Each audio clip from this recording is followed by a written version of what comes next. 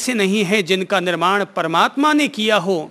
दुनिया में जितने भी मंदिर हैं, उन सारे मंदिरों का निर्माण, मस्जिदों का निर्माण, गुरुद्वारों का निर्माण, किसी परमात्मा या गुरु ने या खुदा ने नहीं किया।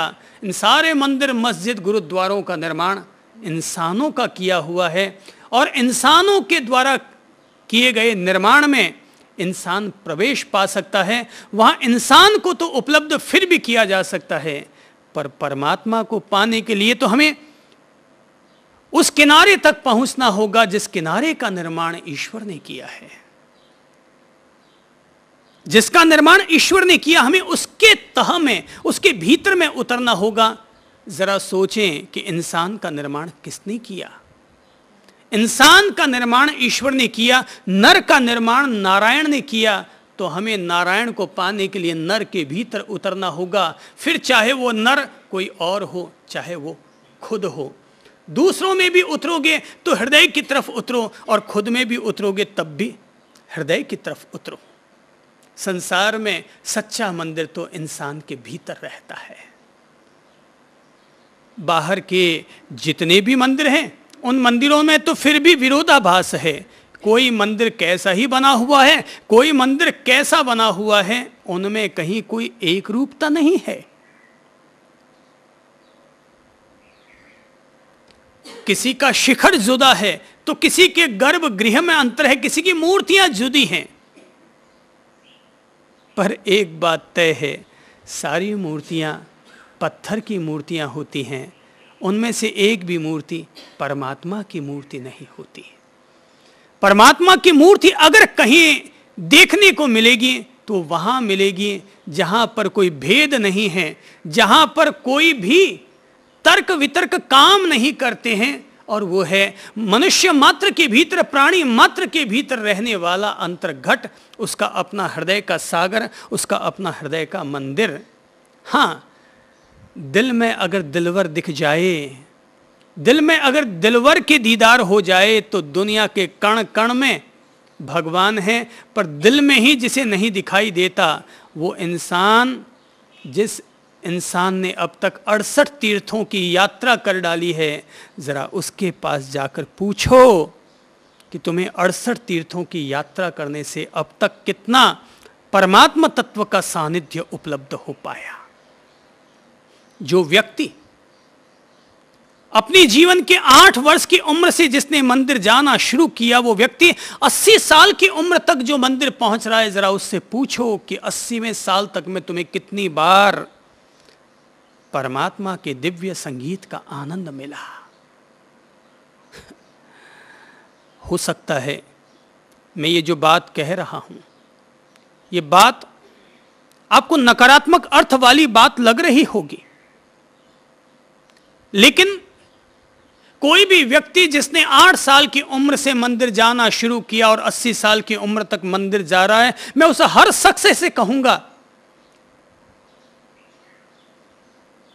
कि अब जरा एक यात्रा फिर से शुरू करो और जितने वर्ष हमने बाहर के मंदिरों के लिए लगाए हैं, अगर हम उसका दसवां हिस्सा भी अपने हृदय के मंदिर की तरफ़ लगा लें तो इंसान के भीतर व्याप्त रहने वाली उसकी परमात्मा मूलक चेतना निर्वाण मूलक चेतना, वास्तविक सत्य की चेतना, त्रिकाल सत्य की चेतना, वह खुद अपने आप से साक्षात्कार करेगा। बाहर भी देखो, प्रभु को बाहर भी देखो, पर जरा भीतर झाँक कर देखो लोगों का चेहरा ज़रूर देखो, लेकिन पहले अपने चेहरे को आईने में देख करके फिर लोगों का चेहरा देखो। कहीं ऐसा ना हो कि हम लोग लोगों के चेहरों को देखकर सोचते रहे, वह काला है, वह गोरा है, उसकी नाक चपटी है, वो लंबी है, वो गणेश जी की तरह लंबी सूंड लिए है। ज़रा एक बार आईने में अपने आप को देखकर ये मूल्यांकन कर लें कि मेरी नाक कैसी है, मेरा चेहरा कैसा है। एक बार अपने में चलो, स्वयं में चलो, अपने आप से दोस्ती करो। योग अपने आप से दोस्ती करने का पैगाम है आत्म मित्र होने का रास्ता है। खुद से खुद की दोस्ती का नाम है योग। खुद से खुद की मित्रता का नाम है योग। योग हमें जोड़ता है। पंडित भी हमें जोड़ता है, लेकिन पंडित हमें शादी करते वक्त पति पत्नी आपस में जुड़ते जुड़ाते हैं। पंडित हमें जोड़ता है, लेकिन परायों से जोड़ता है और योग हमें जोड़ता है, अपने आप से जोड़ता है।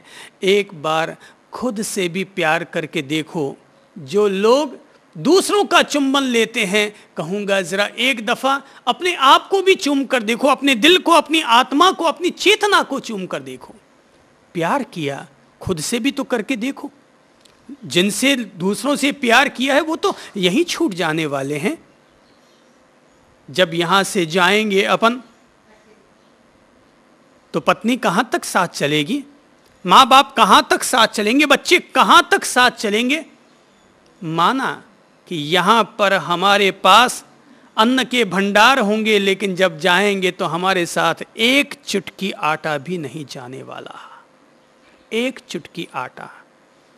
यहाँ अगर पीड़ा हो तो चीखेंगे, चिल्लाएँगे तो कोई ना कोई मदद को आ जाएगा, लेकिन जब शरीर को छोड़कर जाएँगे तो कोई हमारी चिल्लाहट को सुनने वाला भी न मिलेगा।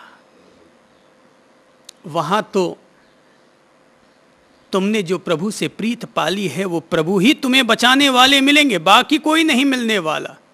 वैसे भी अस्पतालों में कौन किसको बचाने वाला है? दो चार गोलियाँ खा लो, पर तड़फना तो तुम्हें ही पड़ेगा। भीतर के मंदिर से प्रीत पालें। हज़ारों वर्षों से ज्ञानी आत्माओं ने, ज्ञानी जनों ने यह कहने की कोशिश की बार बार हज़ार हज़ार दफ़ा हज़ार हज़ार किताबें और हज़ार हज़ार शास्त्र लिख करके कहने की कोशिश की कि तुम्हारा सच्चा मंदिर तो तुम्हारे भीतर है, लेकिन ये इंसान सत्य को हमेशा बाहर पूजने का आदि रहा है, अपने भीतर झांकने की तकलीफ़ नहीं उठाता। आँखें बाहर खुलती हैं, चित्त की गतिविधियाँ बाहर चलती हैं तो ये अपने प्रभु को भी ये बाहर ही देखना इसने शुरू कर दिया। अगर प्रभु है तो पहले अपने हृदय के मंदिर में है, भीतर के घट में है।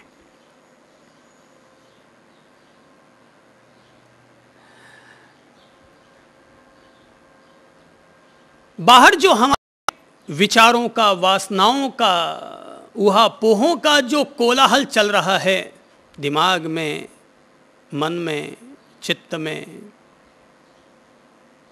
उसको हम शांत करें।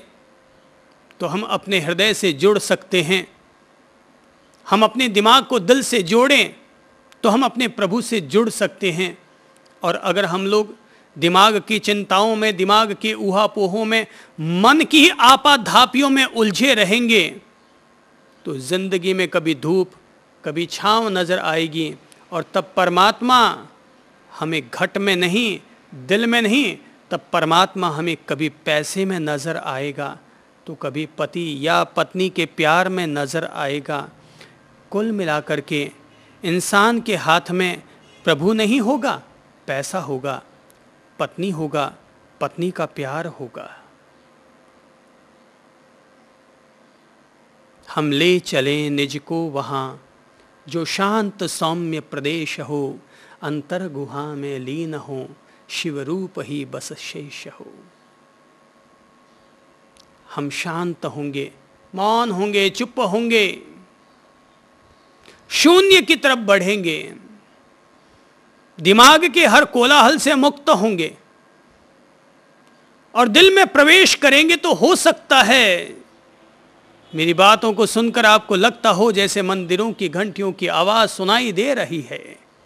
तो अपन भीतर की तरफ़ चलें, लेकिन जैसे ही भीतर की तरफ़ जाएँगे, लगेगा, मंदिर नहीं है। घंटियाँ नहीं है, संगीत नहीं है, आनंद नहीं है, केवल वृत्तियों का उतार चढ़ाव है। दिल दिमाग में उहा पोह चल रहा है, पर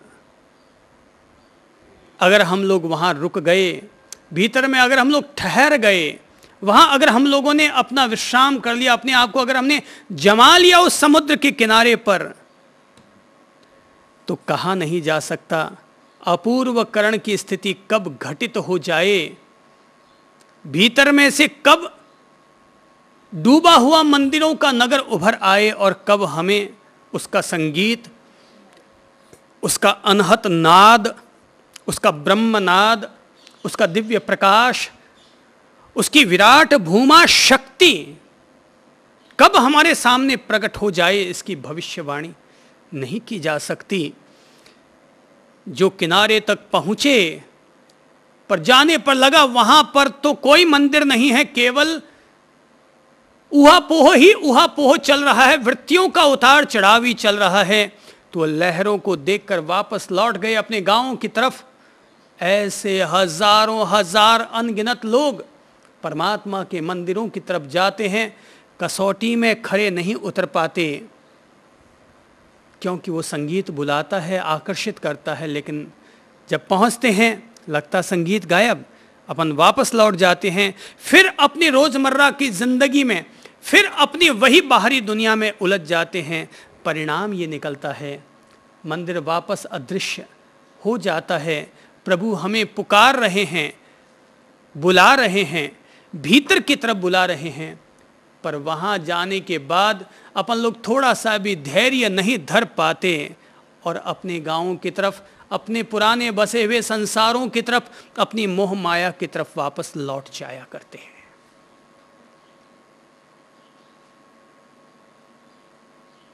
योग सूत्र, जो कि हमें नाभि हृदय और ललाट प्रदेश पर केंद्रित होने की प्रेरणा दे रहा है, कोई यह ना समझे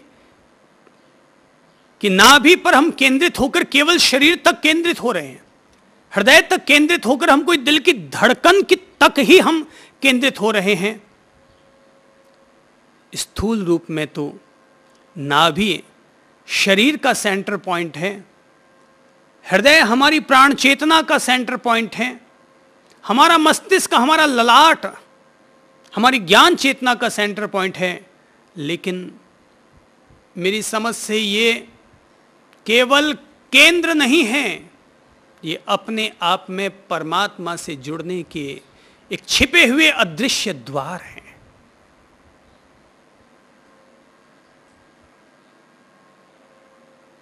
ये अदृश्य द्वार हैं और द्वार कोई भी हम चयन कर सकते हैं, किसी भी दरवाजे से पहुँचा जा सकता है।